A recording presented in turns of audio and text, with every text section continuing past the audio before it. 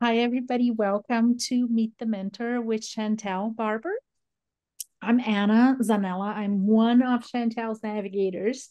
Um, the other navigator that Chantel has is Lynn, who's also here on the call. And uh, there is also Brenda. Brenda, uh-huh. She might be popping in as well, so we'll see. Um, but that means that we uh, help Chantel facil facilitating some of the mentorship groups that she runs uh, and also courses um, that that are coming up in October, November. Um, I will quickly introduce Chantel. Um, Chantel Barber yearns to promote the human spirit in her work she believes that when it comes to the human race, there is more that unites than divides. There's beauty in everyone, regardless of whether they measure up to society's definitions of beauty. Not only their joys, but their sorrows. She wants to show the beauty in the human condition. Chantel is on a journey to capture the vision in her mind's eyes, the blood that we as humans share. And she does it all in acrylic with strong color, energetic brushstroke, light, and story. Her loose style draws the viewer's attention, visually becoming them to wonder at the essence of life. So, um, how about I, I will pass it on to you, Chantel. Um, and if there's other things you want to talk to us about. Uh, we briefly talked about you know talking about your inspiration and mm-hmm. how you became an artist.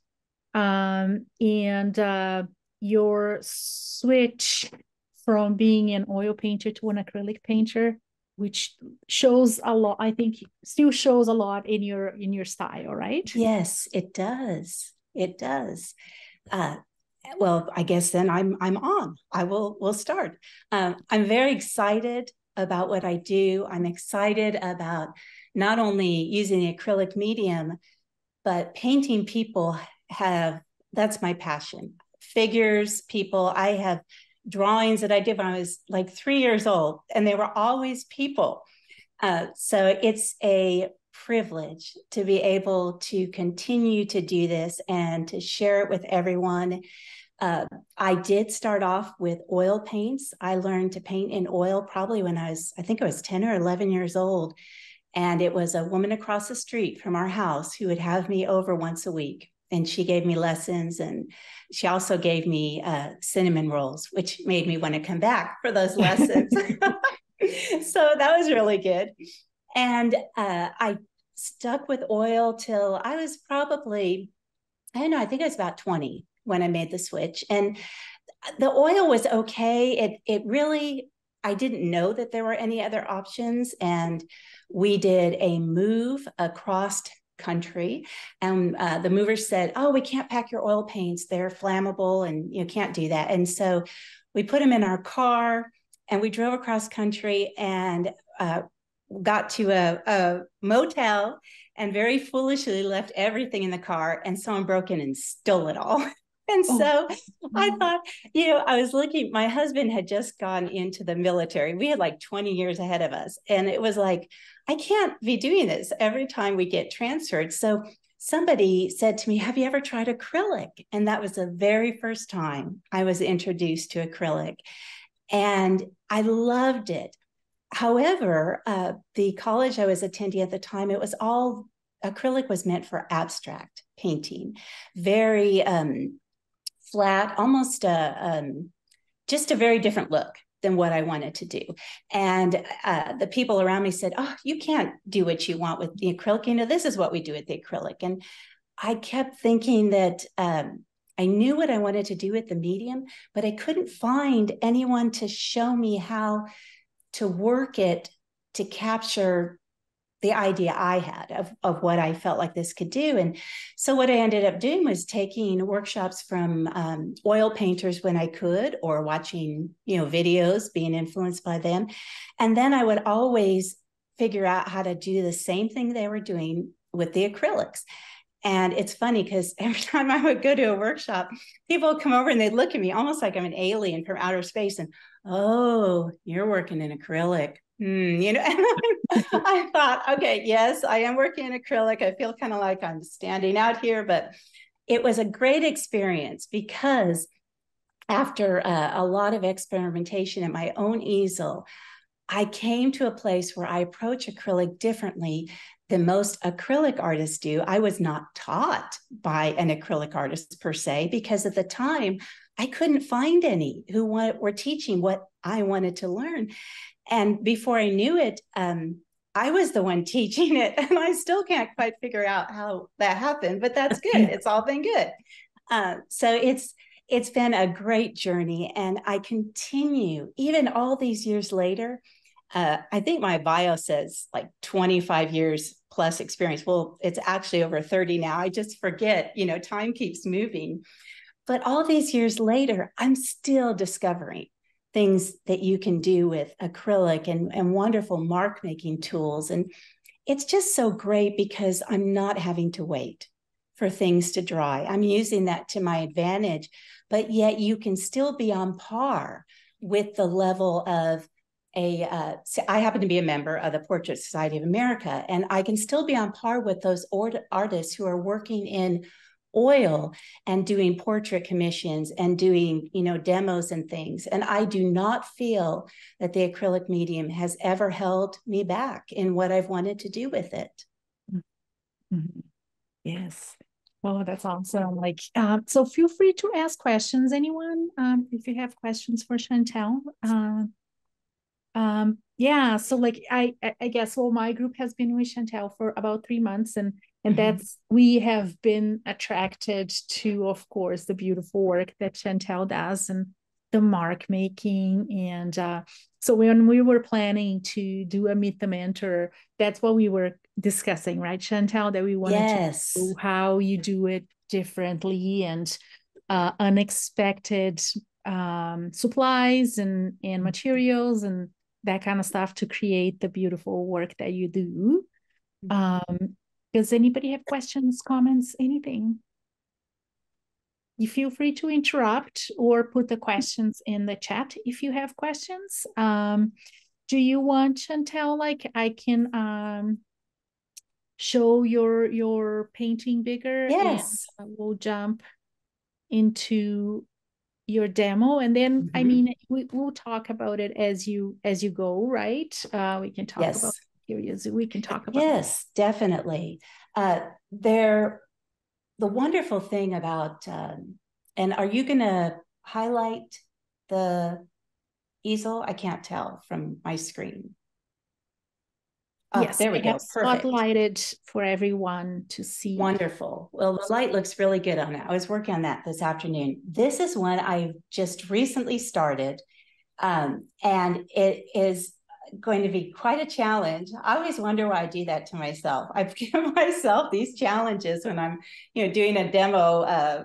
live. And but what I've loved about this was the the candle and the light on the face and the darkness around and how you could get a sense of not only the color and the, the, the light and dark, but also an expression in uh, a face like this. And what's so wonderful about working with the acrylic is that I can lay all of these passages in just to begin to get myself started.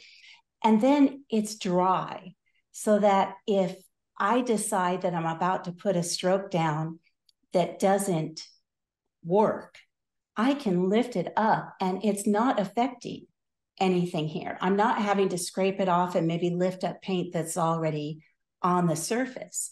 And that's something I love is acrylic. I, I think I heard someone one time say that acrylic, um, they felt like it wasn't forgiving.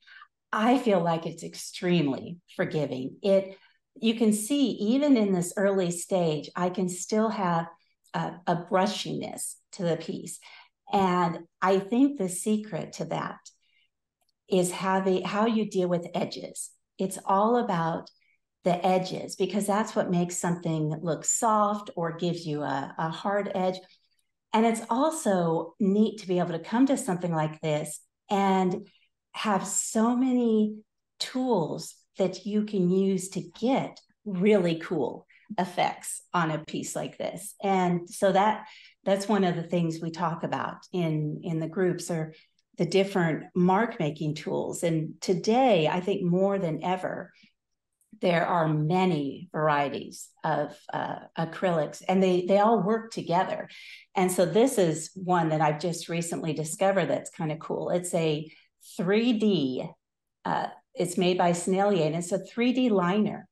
And what i find is as i'm doing a painting like this i can take this and i can draw with it and the paint comes out and it's just raised the tiniest bit but what it does is it allows me to not only create texture, but to begin to get some more depth. And then I can cover over this with other applications of, of paint, and I can get wonderful nuances and, and color washes. And it's just so much fun to be able to do something like this and then see how it looks. And if I feel like I need to make a change to it, I'm able to simply take a, a paper towel and you know lift passages of it off if I want to, or come in and move it around, even just using the paper towel as as a tool, which I do tend to do often. But there are other really great tools that we can use. Um, I I love using the uh, Filbert paintbrushes; they're fantastic. There's also some really great dagger brushes, and I'll make a few strokes with these so you can see how the what the dagger brush allows you to do. But then there are other options such as the acrylic inks or the high flow if it's golden. Golden has high flow, Liquitex has acrylic inks. And I can show you, I'm going to show how I can run some of those inks over what's already here. And we can get a different effect that way. And then it's always fun to add a sponge sometimes and use this to apply paint. So it's letting you vary these edges. And not only are you creating depth by doing that, but you're also creating um, different mark made mark that uh, I want to back up and say this a little bit better. You're letting the paint speak the paint, it's more about your paint application and all the wonderful things you can do with it rather than having everything be exactly the same. And so this is just putting acrylic ink on the paper towel. And you can see it's a little bit more transparent, but I let it catch in places where I want it to catch. And then what I do is I always look at it in the mirror and I see how it's it's reading if it's giving the effect that I want. But it has so many possibilities because it's transparent. So when it dries, it's not going to have as much heavy chroma in it. I, I can choose to have more heavy chroma. But Chantel, I can, can, I just stop yes. you for a second? Um, there was a question on our um, on the chat here asking more about the Sennelier pen that you had. So if you oh, can yes, talk the a little bit about that. And yes. Uh, and um yeah, and the other thing that I was I was just gonna mention, uh, I love when I when I'm watching you work and stuff is uh that idea that you talked about uh that this is the play time to yes. to play with the paint and be inventive and so on and that nothing needs to be perfect right now. Because mm-hmm. even as you're painting you you see these things that if it was my painting and i was painting would drive me crazy because the eye is not totally yes but you're able to leave this imperfections and then work on knowing it so that later yeah. on they can be addressed if needed right and you know what's so cool about this because I'm I'm I have another piece I'm working on that's almost at the finish. And once again, I found that by adding a couple strokes here and a couple strokes there, you balance things off and you fine tune it so that in the end, everything has a rhythm together rather than trying to finish the eye perfectly right now. And then I come to the end of the painting and it feels like it doesn't belong with everything around it because I encapsulated that eye. I tried to do it all by itself, but the reality is all of these things work together. Mm-hmm. And by moving around, there are actually moments where you feel like, wow, I didn't mean to paint the eye, but there it is. It's already coming to life.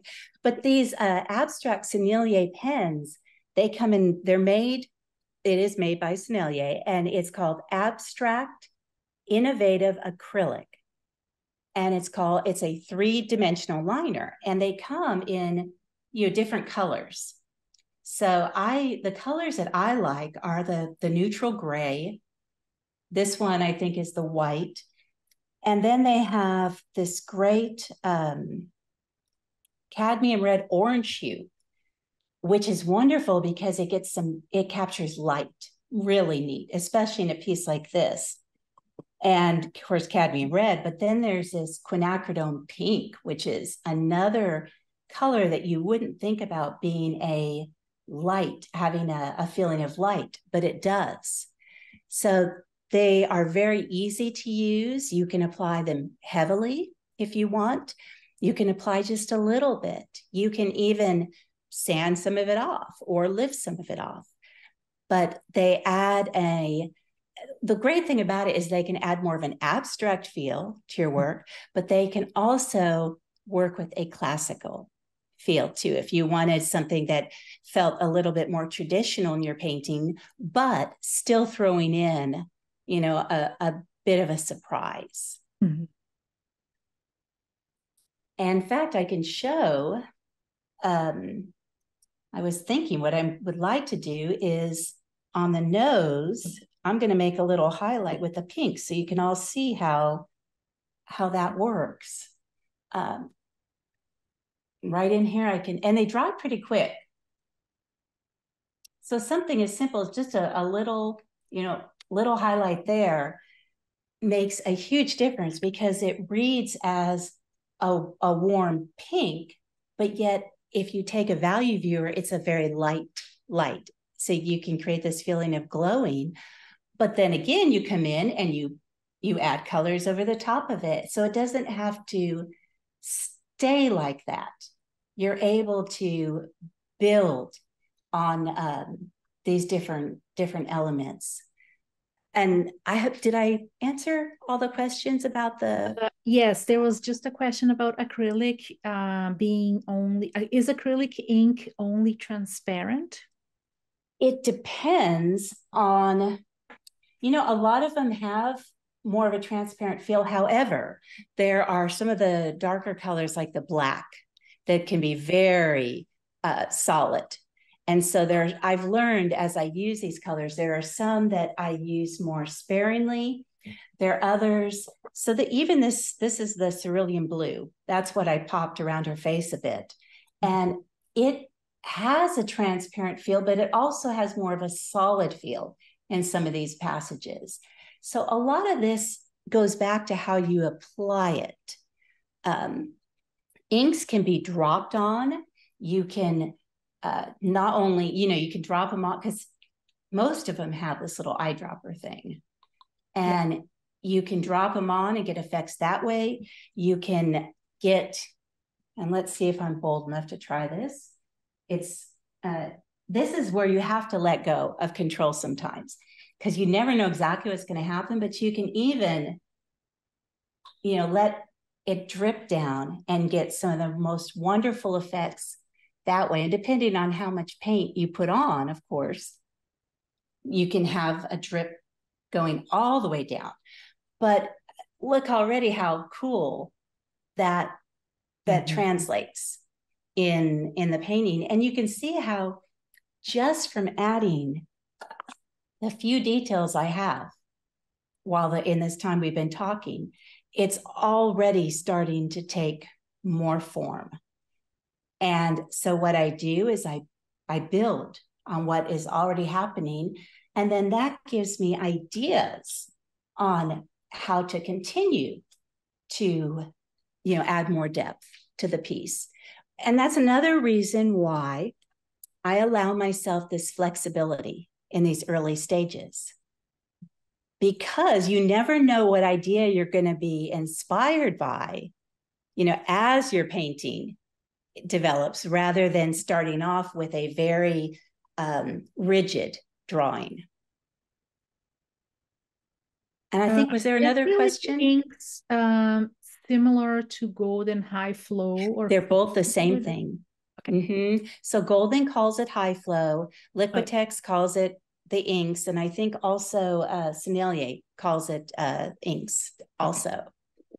so those those are definitely the same thing um, and back to the pen uh, sometimes as i talk i think of you know what what i want to do next and so I was thinking what I could start to do, which will help me develop her eyes and uh, make sure that, you know, I like the eyes, the inner corners to meet up. And so that's what I'll be doing. But before I do that, it's very helpful to start to just do something like a simple little, you know, highlight. And I can do that with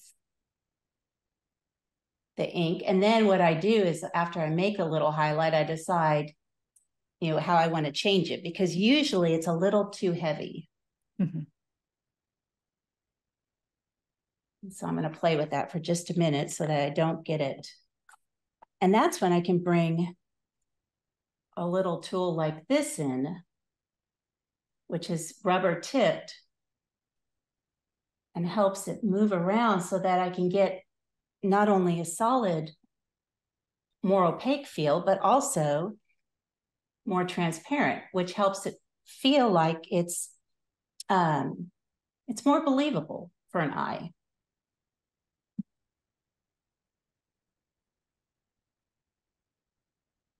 And that's another thing. These little catalyst are they're called uh, color shapers.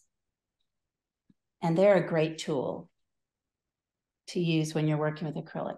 And if I still feel like I, you know, want to lift some more of that off, I always go back to my my go-to is definitely to use a paper towel and tap that. But that just gives me a place to start with you know adding a highlight in the eye and then I'm always looking at my mirror to see how it how it reads and then I can go back and I can continue to work some more color around those eyes. Um, before I add that, any questions about the I did tell you what this tool was, I think. Yes. The yeah, Royal Sovereign makes these. Royal Sovereign. Limited. Do you want to talk about the mirror? Yes. Oh yes, I use the mirror all the time. Uh, and when I really get into my painting and I have like four or five things in my hands at once, I find that I'll be looking at something like this tool and I'll think, why can't I see the painting? Well, duh, that's because this is the mirror and this is not the mirror. but you know, I'm so I, I still laugh at myself. How can I do that? But I'm so into the whole painting process that, you know, you're in that moment, you're caught up. But what this is just a mirror that I got, I think it was on Amazon, and it actually telescope gadget. Uh, and the reason I use this is sometimes, especially if you have a studio where you can't get back far from your painting, you can look in this mirror and I can see mistakes that I wouldn't be able to see with just my own eyes. The longer we look at something, the longer we convince our, the easier it is for our brain to convince ourselves that this looks exactly like you want it to look. And everything is is matching up. And then that's why sometimes you'll be working on your painting. You'll leave the room, you'll come back and you'll think, whoa, it looks so good when I left. what happened? This, you know, it's not, it's because we we just started to convince ourselves that we were seeing what we thought we were seeing, but we really weren't. I know that happens to me a lot. So I've decided that I have to have ways to give myself what I call fresh eyes again. And the mirror is one of those. I look back, I see the mirror, I see, you know, what if I have a photo reference, I'll compare it to the photo reference. And I'm basically looking for things like, okay, do I have the eyes where they need to be? And obviously, I need to make some adjustments here. Uh, how is the shape of the face? You know, what adjustments do I need to make to that? If there's an angle that's off, it could be that I have an angle like this, but it has to go like this. Mm-hmm. So I'm looking at those things. But another way to really police yourself, which is what I tend to call it when I'm talking to myself, is a value viewer.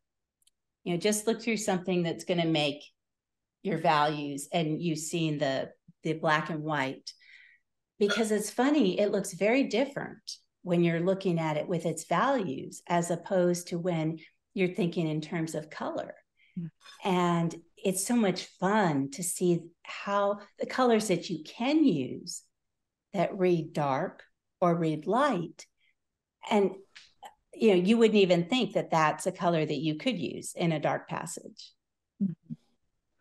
colors can be tricky sometimes right they can trick, they can. trick us very much so. So those are are two ways that i like to keep an eye on on what i'm doing and and how it's starting to develop. Um, and back to what I was doing here, I can pop in a little bit more of a just a dark. And when I do a dark, I, I like the uh, since there's so much red in this painting, it's nice to go with more of a blue tone. And you know work with the start to add a little bit of a dark in with the uh, around that highlight and that makes a big change.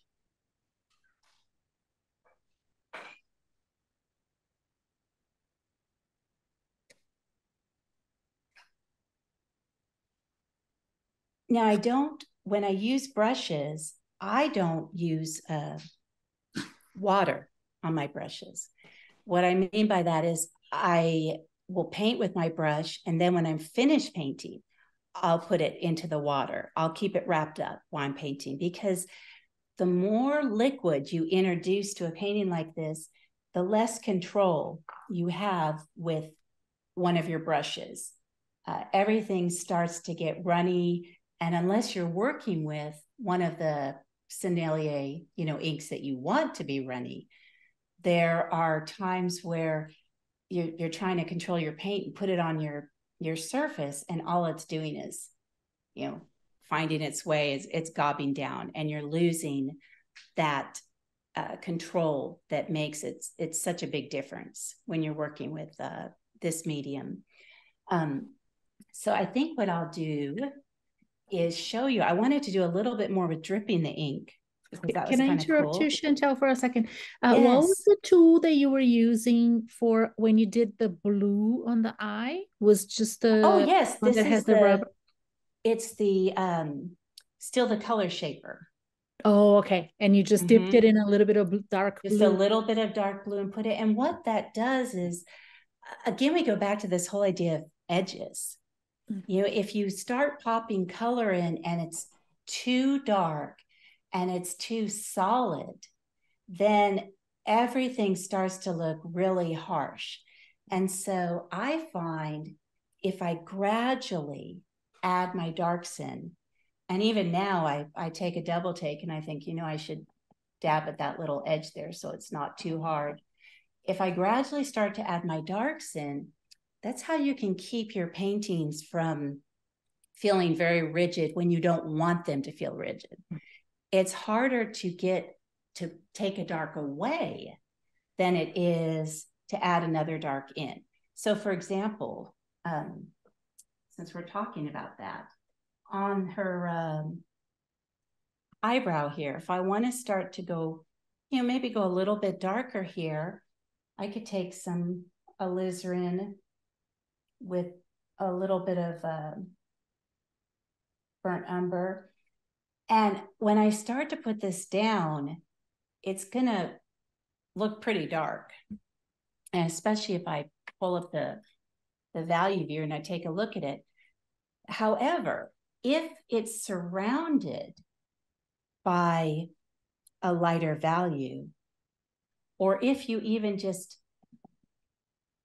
soften those edges, it feels more like it, it belongs. And then you can look, you know, for other places in your work where you can begin to add some darks. And another really cool tool is uh, something like this, a soft, flexible spatula. And so I can put catalyst, right? Catalyst blade, yes. It's uh, catalyst uh, blades. And they they're really quite wonderful because you can pick color up with them. Uh, but it like i I'm looking for exactly where I want to put this. Like if I want to start to I can also have this have a transparent feel to it as I lay color down with it.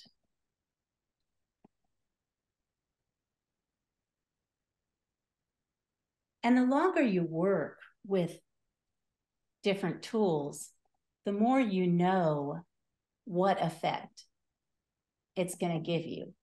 And then it really helps you control how, you know, the outcome of your piece, uh, which is fun because you, when you're trying to get a certain effect, you, you automatically think, I need to, to use this, I need to use an ink, or I need to use this tool. And um, it's so much fun too, thinking outside the box because we don't do that enough when we're focusing with acrylic. And we lose opportunities, I think, to have some of these interesting strokes that not only are interesting in building our painting up, but also start to give um, it, it's refining the drawing at the same time. And the way you lay down strokes are going to help shape whatever it is you're wanting to paint.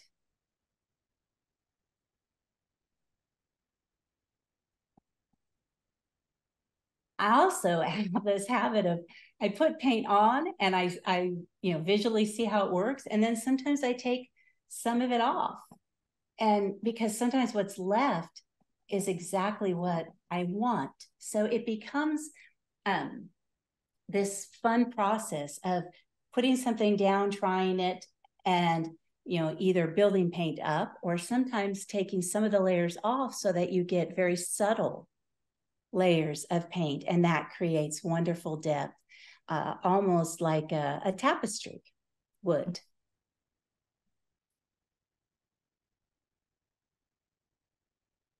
Let's put a few more with this. And then I think I'd like to go back and do a little bit more there on that uh, candle.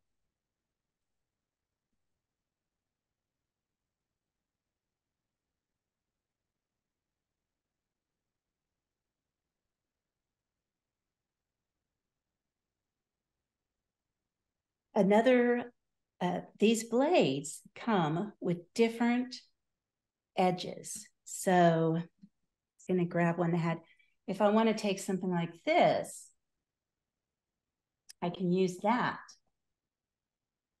to change some of the edges. I can also use a palette knife and cut in and get a very different effect.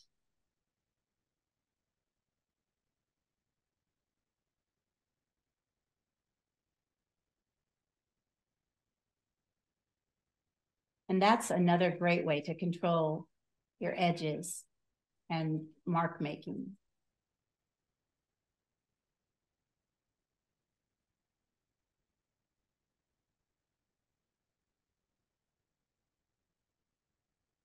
And I think I'll go back and put a few more strokes of the cerulean blue that ink and let that kind of drop down the background here because that gives a really nice effect there. And then what I do is I just tap some of it off so that it's not too heavy. It still has a, a transparent feel.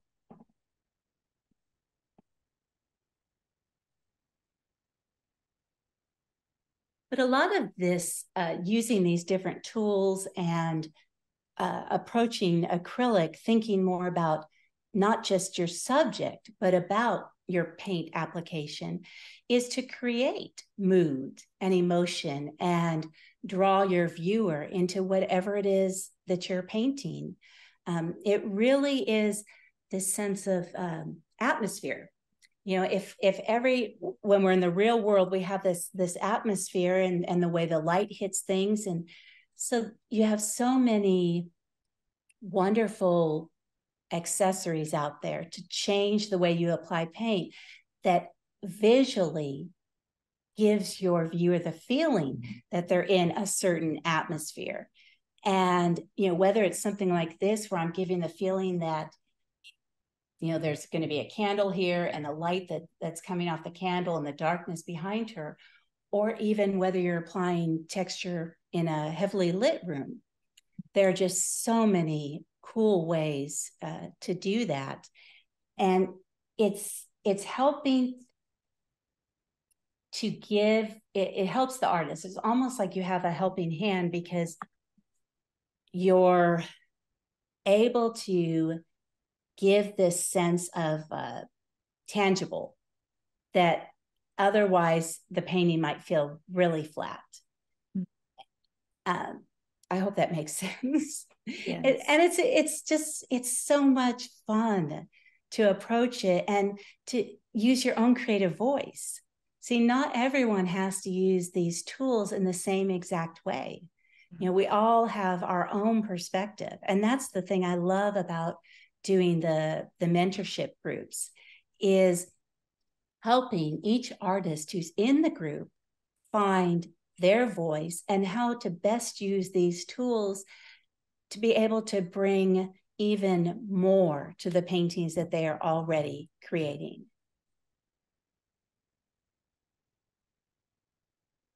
Yes. Questions, comments? Anyone? I have um, a question, Chantel. Hope I don't yes. put you in the spot. It always impresses me how brave you are that you just yeah. go in and throw paint on what I think is already a beautiful piece. Is it because you you just know from experience that you can work with it and change it, or is it is it something you learn um, or something you just have? It's it, i had to learn it. It didn't come automatically. I was very timid in the beginning a very timid painter. But what i found was that i could work on a painting for three or four hours timidly and really nothing changed but if i could force myself to just come in here and paint as if i was I don't know, you know, myself, but even if I wanted to think, how would, you know, Leonardo da Vinci put these strokes down? Just do it and and let go of that feeling of failure that sometimes hangs over us, then I ended up with pieces that are not only more fun to create, but they're stronger. And if it's not stronger, because that's the thing I, often ask myself well, let's say that you come and you do what I just did, and you decide that I like that. However, I think I may have gotten just a bit too much red there. The wonderful thing about acrylic is how easily you can lift parts of it off without it ruining your piece. And I think when I came to that point where I realized, let's remove that fear factor then it gives you a whole lot more freedom to try things because well what if it doesn't turn out i i lift it off i you know put more paint over it i can sand things down and actually some of the things that i thought were horrible mistakes ended up being the best thing about the painting because it created nuances in the background i simply would not have gotten if I hadn't gone through those steps and, and thrown that paint on. So it comes from kind of silencing, You know, there's a time to be thoughtful about what you're doing and to ask yourself, well, you know, should I put this mark here? Should I do this? But then there's a time to just jump in and do it and do it boldly and then stand back and say, okay, well, how did that work? And if it didn't work, you know, I'm still standing here. I can still change it. Hmm. Uh, or I, if worse comes to worse, the painting can be used for something else. You scrape it off, you put gesso. But I was tired of hours and hours of painting, and somebody is you know, mainly a family member would come in the room and say, "What did you do?" it doesn't look any different than when I left. Right. And I thought, you know, they're right. I didn't make any change. Mm-hmm. It's it's not even better. And mm-hmm. I want, if I'm going to do all this, I'd like it to feel like I'm making progress and it's actually getting better. So yeah, it it was hard at first. But what's so nice is the more you do it, the easier it gets. And then the easier it gets, you know, you you just it it's that um instead of it being a bad snowball effect, is a good snowball effect. Uh, and so that's even when I use a brush like this, this wispy brush, I, I love these brushes because I can come in and I can start to line things, but they're still very brushy and wispy. So as I'm lining stuff, I still can, you know, stay really painterly. And I just have to put things down and then make a decision of how it looks. If if you don't put things down, then you're never really going to know if that is the effect that you want. Chantel, how long did it take you to learn to be more courageous and less timid with your paintings? um, a long time. Let's see. I think uh, I was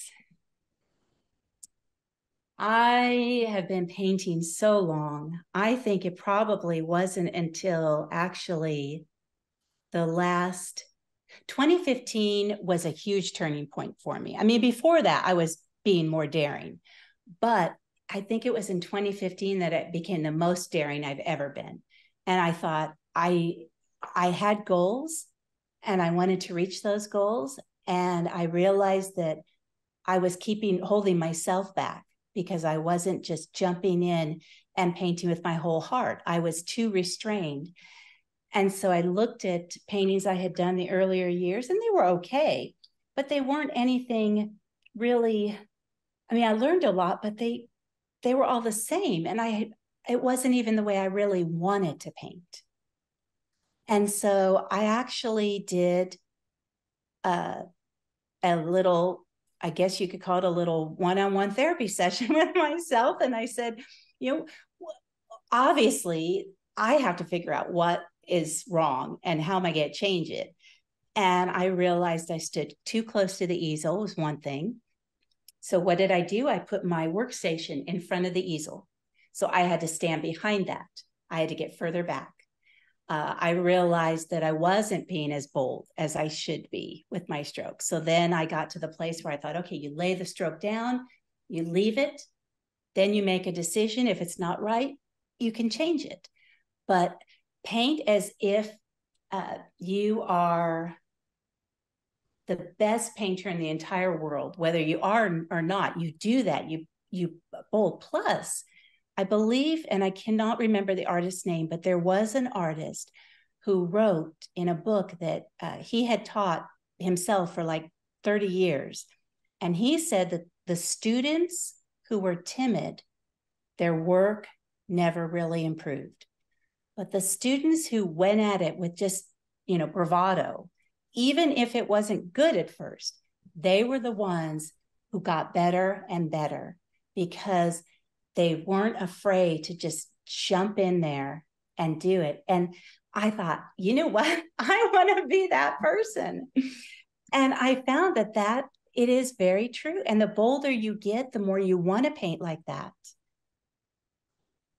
I think it's part of like your it's part of your learning uh, mm-hmm. experience, right? And as I think as you feel confident that you can like you, you can't really ruin it right? Or you can always bring it back to what it was if you didn't yes.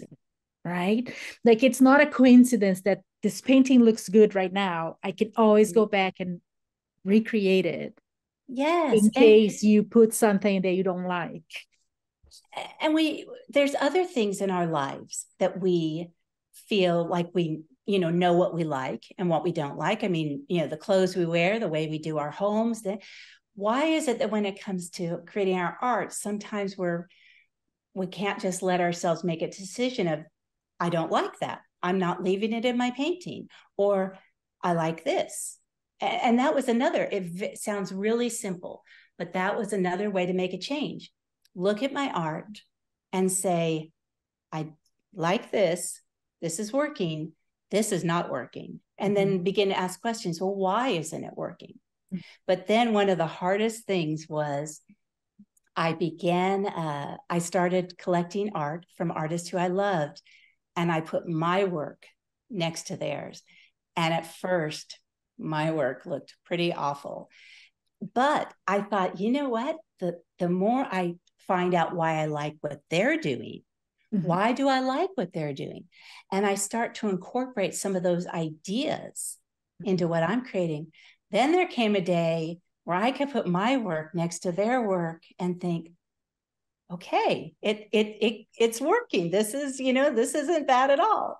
But it it's hard. It's hard because we want to be our work is so personal and we want to be really good at it that it's hard sometimes to see the flaws in our own work and then go about you know changing those things. But it's so worth the reward in my opinion. Yeah but you you, you know what i think? You know as lynn was saying how brave you are with your mark making and all of that but it's sometimes when you put it down it doesn't look like they're the right marks but you just need to give it time like yes. you know you give it time like i think as not as experienced as you know me not being as experienced as you i put something down oh my god i don't like it. This is not how the eye goes and i have to fix it right away. And i see you working and you wait and you kind of live with that mm-hmm. imperfection Yes. Until you turn it, but you don't have to remove it right away. Yes. And there's also ways to know that this line that I just put there, it doesn't have to necessarily stay there. See, the way that I put more paint on top of it, it may be that just a little bit of that peeks through. Mm-hmm. And that's what, that's why it's so wonderful to have this idea of layering because as you put strokes and your mark making on something like this if i come back in let's say i, I think if i grab a more of a gold feel and i've got it on maybe a palette knife you know and i i come back over this See, now you're just getting bits and pieces of mm-hmm. that or let's say i put that here but then I decide, well, you know, that was a little bit too much. I really don't like that. And I tap it, but I leave a little bit there. Again, I'm I'm changing it so that now the angle of her hair is starting to feel better with the angle of her face. And this little bit that I left in the background could be the sense that there's you know more extra hair that we don't see because of the way the light is it could be um, something that's behind it. I mean there's so many different things that it can be but it adds interest to your mm-hmm. painting. Uh, the other thing that i do want to mention because this is so important and it goes with what you said anna about not um, trying to get things too perfect. There is a rhythm though and that's really what I'm looking at. The rhythm is I want, I do want the eyes to feel like they are relating to one another, that they have a similar curve I want to make sure the eyebrows are going to eventually have a similar curve. Then I look for, like this stroke that I just put here, I look for ways to make this curve maybe reflect the curve of the face as I develop it. And I find that if you have that rhythm, that is as important, if not more important, than having everything drawn too perfectly. Because the more perfectly you try to draw it, the more rigid and sometimes the less believable it gets. so it's it's uh and they all all of these things um build you know one on another. So even with this flame i was just thinking and and that's another reason why i move around because it gives me an idea. As i was looking at that what i want to do is grab uh, one of the acrylic inks if i can just find the right one here.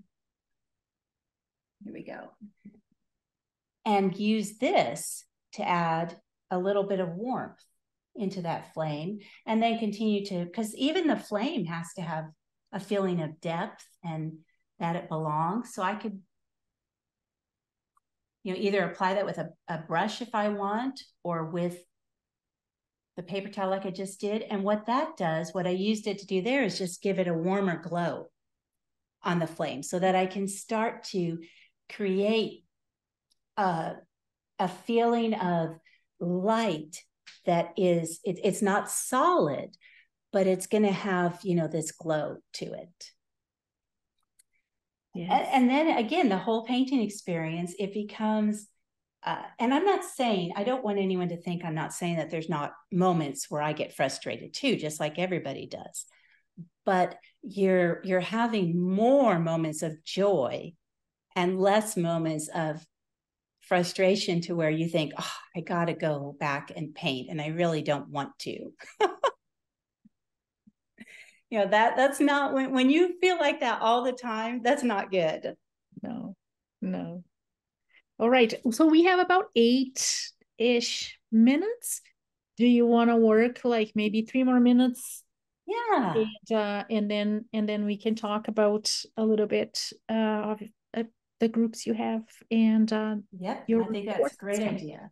I'm going to do another acrylic ink and use that to put a little bit into this candle. Um, and even though there's a lot of ways to apply these i do find that using a paper towel with them is is nice because i can control how much acrylic ink, ink catches. Uh, and so I, I go back and forth. Sometimes I do the paper towel, sometimes I do other methods.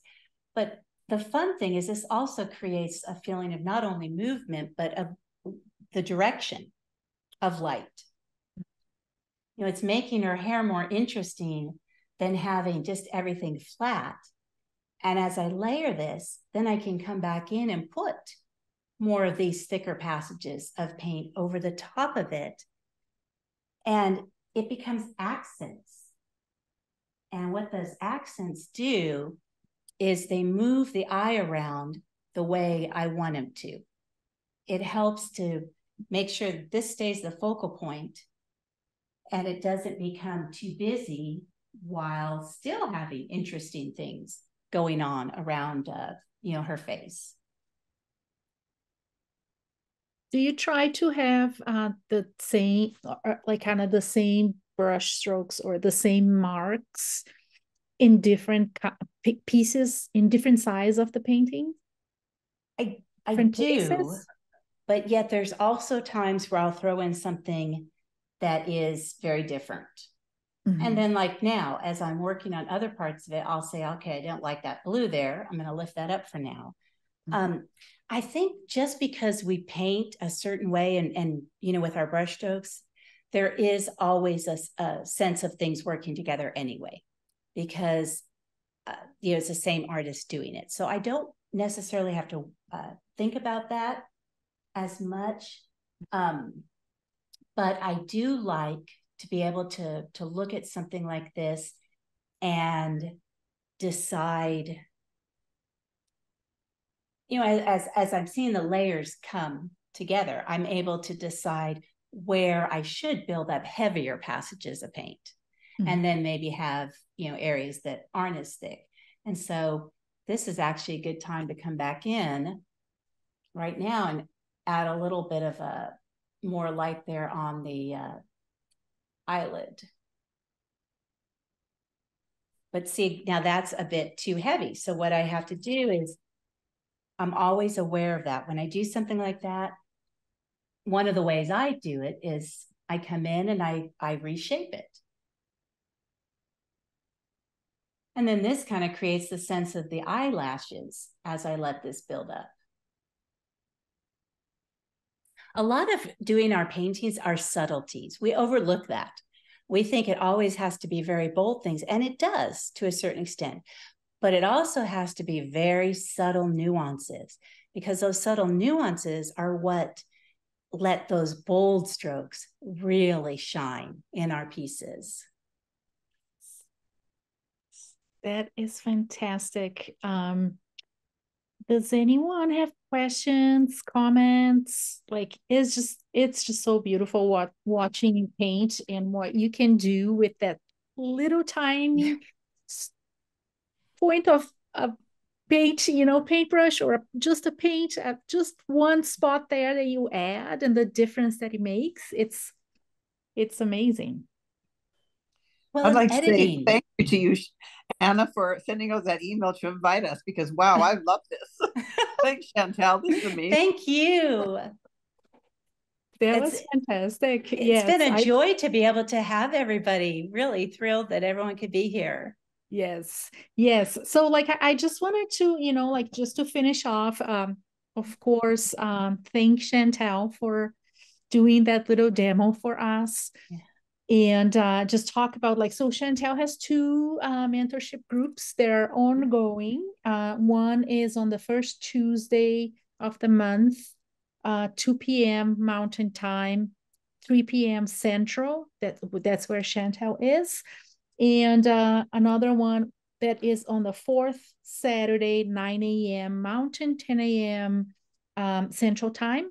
And then Chantel has a course called Starting Off in Acrylic coming up in October, and it's a six sessions, right? And it's a great, we really delve into it. October 4th is when it starts, and every lesson deals with a different aspect of acrylic and it also includes the demo but it's a great way to really go more in depth about not only the process but about the tools that are effective and those that aren't as effective.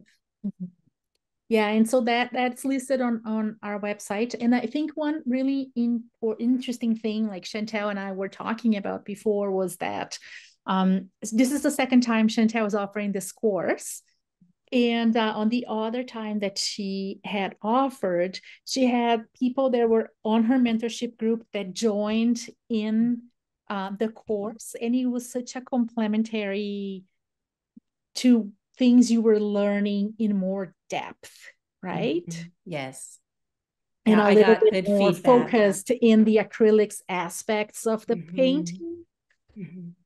Yeah, it really complemented it. And that was wonderful to hear, you know, to have that feedback from the students of wow, I didn't realize that, you know, I thought it would, but this even was better than I expected, the two complement each other. So I'm I'm very happy about that.